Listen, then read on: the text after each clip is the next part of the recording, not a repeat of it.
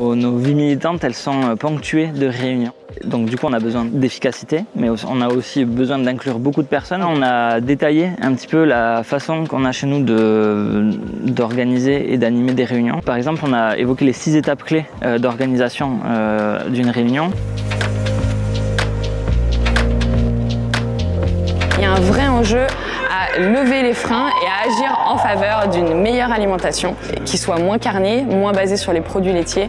L'objectif, c'était de montrer euh, aux militantes et militants présents à quel point l'alimentation est un levier essentiel pour lutter contre le dérèglement climatique aujourd'hui. Euh, c'est un levier en termes d'émissions de gaz à effet de serre, mais c'est aussi euh, une question de santé et une question d'économie, de justice sociale. Bref, on a tous ces arguments qui se regroupent autour de l'alimentation. Et il y a aussi des cadres réglementaires et juridiques qui sont là pour nous aider. Et ils donnent déjà des objectifs qui sont intéressants et on n'est pas à niveau aujourd'hui en fait. Ben, j'étais euh, sur l'atelier qui parlait de la construction euh, et de l'artificialisation. Il y a des solutions techniques qui existent et, législatives sur lesquelles on peut s'appuyer, euh, notamment dans le fait de vouloir redensifier des zones qui sont déjà construites. On peut développer plus d'habitats collectifs. Tyler Huntan, helburua zen uh, elakustea uh, zein importantea den komunikazioa mobilizazio on bat egiteko. Talde bakoitzak publiko mota bat uh, eta publiko mota horren komunikazio estrategia bat uh, sortu behar.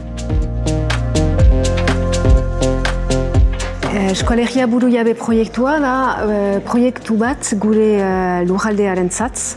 E, beti aipatzen da, beti erraten dugu beste mundu bat posible dela, baina zein mundu. Eta hori landu nahi genuen.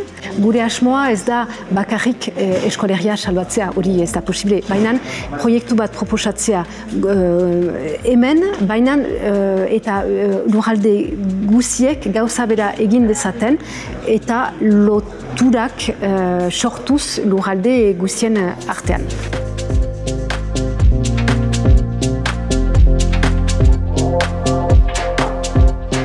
L'idée principale, c'est que euh, on pense qu'on peut relever le défi climatique via l'émergence d'un mouvement de masse, un mouvement populaire, citoyen, de masse, radical et populaire à la fois, et non violent et déterminé. Pourquoi? C'est parce que c'est la seule manière par laquelle on arrive à imaginer un changement écologique radical, qui est une nécessité physique euh, décrite par les scientifiques, avec l'impératif de justice sociale, qui est une obligation morale pour nous, et dans des conditions démocratiques.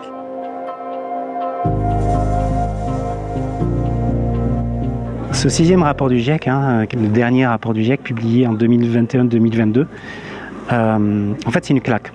C'est une claque parce qu'il nous montre que euh, nous sommes intégralement responsables du changement climatique. Mais tout n'est pas perdu, parce que ce rapport du GIEC est un véritable plaidoyer pour l'action. L'enjeu de traduction de, des rapports du GIEC, même des résumés aux décideurs, hein, est essentiel. Dans la mesure où ils sont quand même ardus, ils sont quand même un peu inaccessibles, hein, et il faut les traduire euh, en action concrète. Aujourd'hui, nous, communauté scientifique, nous n'avons pas les, forces de travail, hein, nous n'avons pas ces métiers qui euh, permettent de traduire ces, rapports du GIEC en résumé aux citoyens. Donc, c'est sur la bonne volonté euh, des chercheurs de, porter ces messages-là, d'essayer de, faire monter en compétence euh, l'ensemble de la société civile.